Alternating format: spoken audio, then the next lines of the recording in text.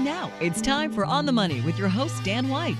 Dan has been in the financial services industry for over 25 years, and he's been a featured expert in Forbes, Yahoo, the Philadelphia Business Journal, Dow Jones Market Watch, and has appeared nationally on Fox Business News. Dan is a member of some of the most prestigious financial organizations, including the Society of Financial Service Professionals and the National Association of Insurance and Financial Advisors. In addition, he's a chartered life underwriter and a chartered financial consultant. Credentials you can trust. Broadcasting from the heart of Wilmington, Delaware, here's your host of On the Money, Dan White. You hear quotes and sayings all the time about character. They always revolve around how you act when no one else is looking. Well, while we don't talk about character and estate planning in the same sentence, there is a similar notion. You see, sometimes we act a certain way because there is a consequence. If you speed, you might get caught, which makes you slow down. If you do something to screw up your income tax return filings, the tax police will be on your tail. But when it comes to estate planning, there's kind of an honor system in place. Even though we are not required to document that our estate planning is current and appropriate, there's a real advantage to getting it done the right way. Welcome to the On the Money Show. My name is Dan White, and today I'm going to break down the why and the how behind your estate plan and why you should look at it sooner rather than later. Before we get into the program, though, I do have a couple announcements. Uh, we do have a giveaway today. Uh, we're talking about estate planning. And the other thing, uh, so we do have a white paper. It's called Estate Planning 101. So if you're like 90, 80 to 90% of the people that I see, you probably have a very outdated estate plan or no estate plan at all. So if you've got questions about the documents you ought to have in your estate plan, uh, you want to get a copy of this white paper for your financial library. Estate Planning 101, pick up the phone and give us a call. You can reach us toll free at 888 690 8820. Again, 888 690 8820 in Pennsylvania. It's a local call, 610 358 8942. 610 358 8942. Another really big announcement the Medicare annual enrollment period begins today. So if you're 65 or you're nearing 65 and you've gotten 150 pieces of mail in your mailbox about Medicare supplements and you're totally confused and throwing your arms up in the air, by all means, uh, call Kirsten Spitzenberger at our office. She's our Medicare uh, expert. She will walk you through the process. She's I know she's going to be swamped for the next six weeks, and she's getting married to boot. I mean, she's going to be a busy, busy girl. But give Kirsten a call, and she will walk you through the Medicare annual enrollment period. We also have three upcoming or two upcoming events this week. Our popular in-person dinner seminars continue. Today's retirement concerns and solutions. Actually, there is three. I got a little confused here. We have two on the same night. Tuesday, October the 17th at 5.30. We're at two different locations. Uh, Alison Slezak will be at the Naked Olive in Kennett Square, PA at 5.30. And Dan Simon will be down at Cantwell's Tavern in Odessa, Delaware. That's on Tuesday, October the 17th at 5.30. And then on Thursday the 19th, myself – I will be at the Duling-Kurtz House out in Exton, PA. Uh, so, so, if you've got questions about your retirement, when to take Social Security, when to start drawing from your retirement accounts, how do you keep your tax rates at the at the lowest rate you possibly can? These are programs you do not want to miss. Pick up the phone and get a reservation to one of our upcoming events. And now switching gears to today's topics. You know, we talked about this uh, in the intro there. Keep in mind, if we don't file our Form 1040 income tax return or we ignore the reporting of taxable income, the IRS will notice in a year or two and they'll come after us for the taxes, the interest, and some type of penalty amount. So almost all of us are very good about our income tax reporting responsibilities. But on the other hand, how well do we do? with our individual and family estate planning responsibilities. I'm just going to say out loud, I don't think we do very good. Unlike our income tax system, There is no estate planning system or authority that pushes all of us to do what is necessary for our own good and that of our families. Nobody's telling you you need to do this. And and the, you know the situations abound, you know, with celebrities with multi-million dollar estates. Aretha Franklin died no will. Prince, Prince, how much was Prince worth? He died no will. You know, you hear these stories all the time. You know, people die, and you think, how how could they be worth multi multi million dollars and not do any planning? Well, it happens because this is the biggest area of procrastination that we see, and the consequence of estate planning oversights, mistakes, and ignorance can be as great or greater than any mistake you ever make on your income tax return. So it seems like a best practice for most individuals and families to take a few minutes to at least think about what might have changed this year that might impact their estate planning. Procrastination often makes a list of common estate planning mistakes. I mean, everyone knows they should have a will, and not having one can leave heirs with a big mess, but just having a will isn't enough. Big mistakes are common from leaving decisions to the last minute and failing to update documents to mismatching beneficiary designations. And of course, thinking about death is uncomfortable, and planning for it can be costly, but to have a say in the distribution of your assets after you die. I mean, you worked all your life to accumulate wealth. Don't you care where it goes, what each heir will receive, what charities to support, and other matters, you know, timely planning is critical.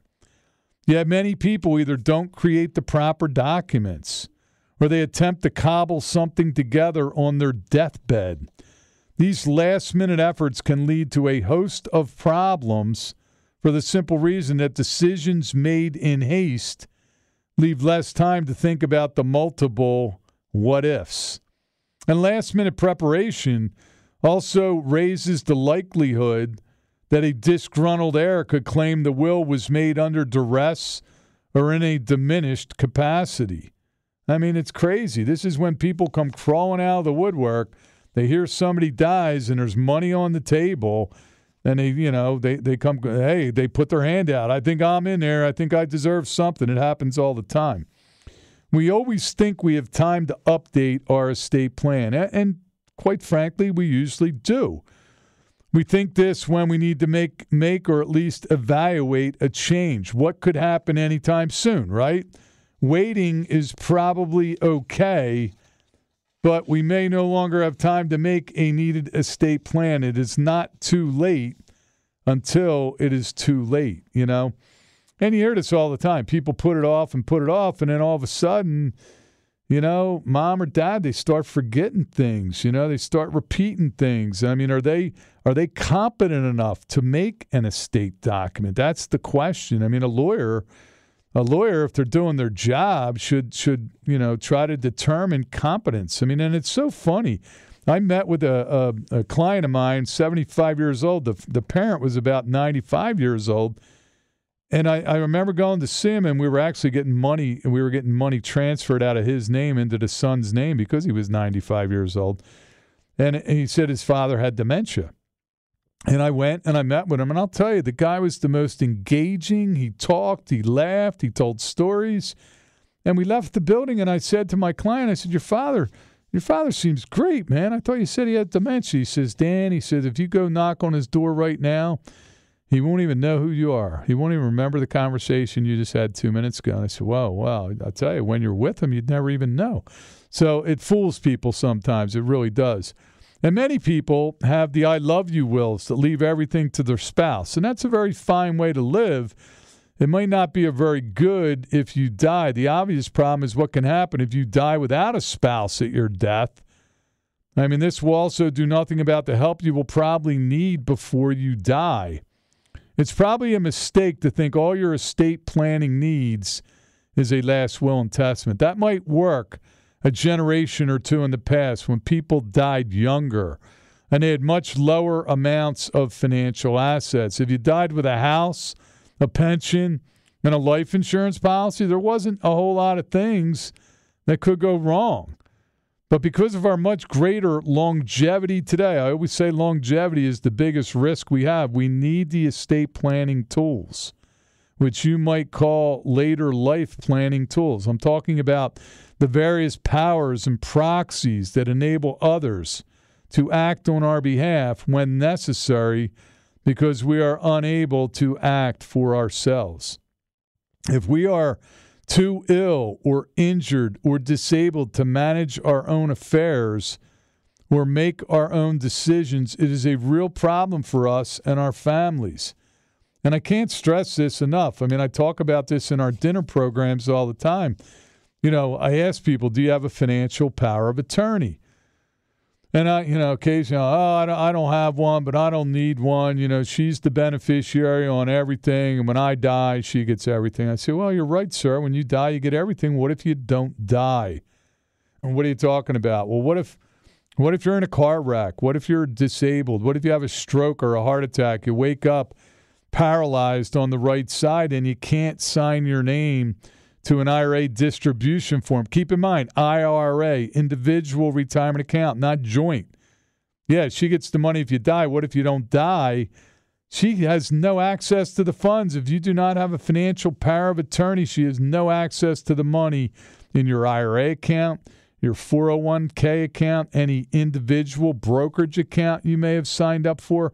It's not if it's not a joint account, you're not both on there the spouse has no access to it. And if you don't have a financial power of attorney and you get disabled, you know, I hate to say it, but you're you're SOL, and you know what that stands for. You're out of luck, you know, and it's not a good situation to be in. So I encourage people all the time because you know, at our ages, you know, in the '60s, you are probably much more likely to get disabled than you are to die. What used to kill us doesn't necessarily kill us anymore, but it might put us in a compromising situation. Let me give you our phone numbers. Toll free. You can reach us at 888 690 8820. Again, 888 690 8820 in Pennsylvania. It's a local call. 610 358 8942.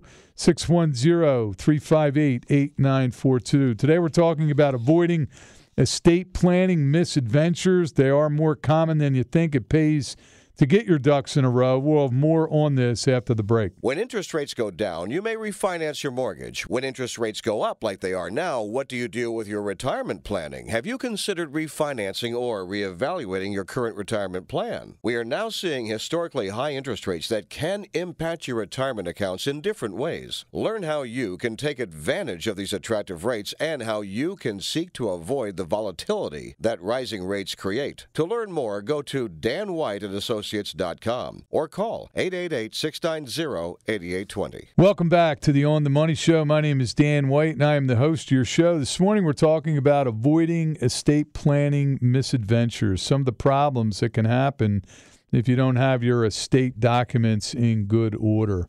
And we're going to continue along this track. But before we do, we do have a couple announcements. We do have a giveaway today a white paper called Estate Planning 101. Most people are completely unaware of what they need to put an estate plan together. They might have the will, but they don't have the powers of attorney. They might have a trust. They might not have funded the trust. Uh, so there's a lot of things that need to be done to get your estate plan in good order. If you'd like to get a copy of our white paper, Estate Planning 101, pick up the phone and give us a call. You can reach us toll free at 888 690 8820. Again, triple eights 690 8820 in Pennsylvania. It's a local call, 610 358 8942, 610 358 8942. We have three upcoming events this week. On Tuesday, we're going to be at two locations. On Tuesday, October the 17th, at 5.30, Alison Slezak will be at the Naked Olive in Kennett Square, PA, doing our very popular in-person dinner seminar, Today's Retirement Concerns then Solutions that same evening, the 17th at 5:30. Dan Simon will be down at Cantwell's Tavern in Odessa, Delaware, doing the same program. And then on Thursday, the 19th at 5:30, yours truly, myself, will be at the Dueling Kurtz House out in Exton, PA, doing the same financial planning program. So if you've got questions about your retirement, and I know people do because it's a very daunting experience. You know, the paychecks stop, and then you know how are you going to get paid Where's the monthly income going to come from? What are you drawing down? Are you drawing down your savings? Are you drawing down your 401k, your IRAs? Do you have any type of pension? Do you have a lump sum pension? Or when are you going to take Social Security? A lot of decisions and no playbook for how you're going to handle this. If you've got questions, you want to come out to one of these upcoming events. So before the break, we were just starting to dive into the financial and the healthcare powers of attorney. And this side of estate planning is really it's really about planning for our incapacity. You want to have named one or more trusted people to make healthcare and financial decisions on your behalf when you are unable to do so. These are your healthcare power of attorney and financial power of attorney documents. Failing to plan for incapacity can lead to legal trouble and unnecessary trouble among your loved ones. You know, we did a show, I think two weeks ago, about, you know, elder care abuse and financial scams. And what did I tell you? It's usually not a stranger. it's usually a family member that's creating the elder care abuse and the theft and you name it. So you got to be a little bit careful about who you're naming as your financial power of attorney because they do have the, the capability of, you know, kind of ransacking your accounts. And under cer- certain circumstances, loved ones may not be permitted into your ho- uh, hospital room or into the decision making process at a hospital as they have not been named by you to have that authority. Perhaps you would have wanted a do not resuscitate order, a DNR, or medical order for life sustaining treatment at the end of life how long should medical efforts be made to keep you alive? It's a living will. You can decide in advance. But again, people don't have these documents. Furthermore, if you are seen as incapacitated, you cannot then grant those those capabilities, the needed authority to your family. It would be too late to help yourself or your family. Having an updated health care power of attorney and financial power of attorney will ensure your family has access to you and can follow your wishes when you are not able to do it for yourself. I mean, you, have seen this happen time and time again. You know, oh, we can't talk to you. Do you have do you have the power of attorney? Usually, when you went for surgery, they ask you if you have a medical power of attorney. They ask if you have a living will. You know, I mean, you're going in for surgery, you're getting anesthesia. That's not the time to be thinking about getting your estate documents in order. You know, I've made the joke for years. If I was a lawyer I think I would set up shop in one of the gates at the airport. I mean, are you kidding me? This is when people think about it, right? Hey, we're both getting on a plane. We're both going to Italy. What if the plane goes down? What you know? Oh, we should have done that. Will you know this happens? I would if I was a lawyer, I'd, I'd seriously would set up shop right in the airport because that's when most people think about doing this. The most common form of estate planning trust is the revocable living trust. It is generally used to avoid probate with all the costs, the duration, and publicity that a will going through the court process does. Property owned by a living trust passes by the trust and not by the probate process. The living trust also appoints a successor trustee. The grantor, the owner, is the first trustee typically. That can happen before or after the grantor dies. That successor trustee also can take over as trustee if the grantor becomes incapacitated or if they resign as trustee. The grantor's assets in the living trust can then be managed for the benefit of the grantor while he or she is incapacitated. This is a stronger legal power than holding a power of attorney for financial matters. Other forms of trust may be used from time to time. You might have irrevocable trust put in place for a specific purpose. Those objectives might be reducing estate taxes, they might be to own life insurance and keep it out of your estate. It might be asset protection from creditors. Could be Medicaid planning or income planning for a surviving spouse. Could be a second marriage.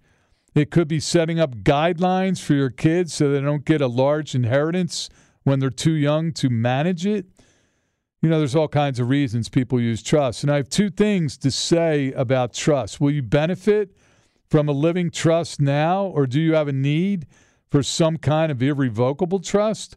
Explore that with a an estate planning attorney. We can refer one or several to you if you don't have one.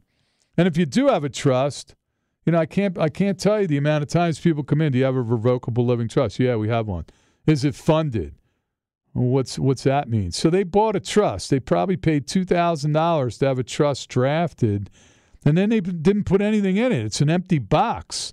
So again, you have to you have to retitle assets into the trust to make it effective. You don't retitle anything that has a beneficiary that passes by beneficiary and therefore avoids probate by beneficiary.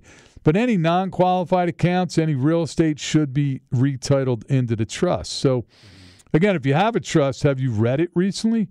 Does it still work well for your situation? Estate planning is another thing, it's not one and done. Oh, I did that 15 years ago, I'm good. Things change over time. Have family circumstances changed significantly? Have estate planning or state tax laws changed that might impact your present trust planning? Review what you have. Reviewing your trust planning periodically is even more important than reviewing your will. For example, the Tax Cuts and Jobs Act in 2017 doubled the estate tax exemption. That caused many clients to revise their trust planning because estate taxes were no longer applicable to their situation. The Tax Cuts and Jobs Act changes expire after 2025, so many clients will have to revisit the risk of paying higher estate taxes and revise their plans accordingly. You know, you may have heard me talk about the new 10 year rule that applies for many inherited IRAs, not spouses, but beneficiaries that are 10 years younger than you. IRAs and qualified accounts could be used in the past for estate planning purposes to provide lifetime income for beneficiaries. Unfortunately, the 10 year rule puts a stop to most of that, so other plans need to be made. Our friend past on the money guest and national IRA expert Ed Slott says don't use IRAs for beneficiary planning. He often recommends life insurance now to provide that income to beneficiaries. A Roth IRA can also be used as a foundation for a beneficiary's long term income plan, but the 10 year rule applies to inherited Roths, but their tax free nature allows for other income planning with those tax free proceeds. You know, you you know when when somebody dies, you know, you got all kinds of planning opportunities. It might, you know, you might you might do some Roth conversions of your own, use some inherited funds to pay the tax on Roth conversions. There's a whole a whole strat, you know, a whole myriad of strategies you can use if you're working with a competent planner. A periodic review is very important for any financial plan or estate plan or where accounts have beneficiary designations. That is almost always the case.